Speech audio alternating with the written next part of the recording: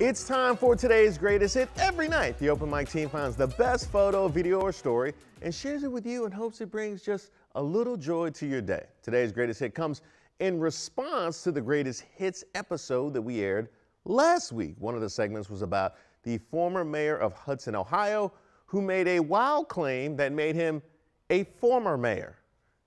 You then allow ice fishing with shanties, then that leads to another problem prostitution. And now you got the police chief and the police department involved. Just data points to consider. Did you see the face of the guy next to him?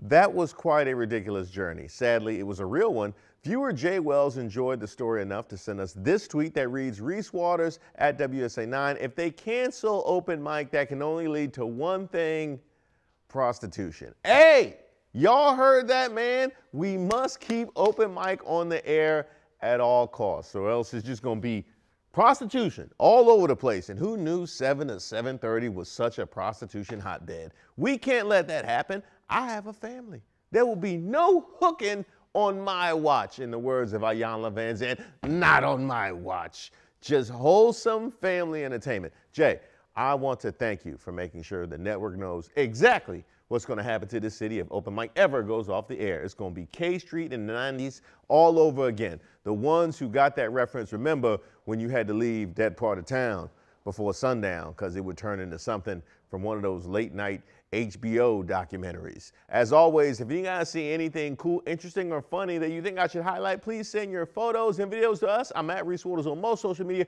Mr. Reese Waters on TikTok, or email rwaters at WUSA9.com. I'm especially interested in any content from K Street in the 90s.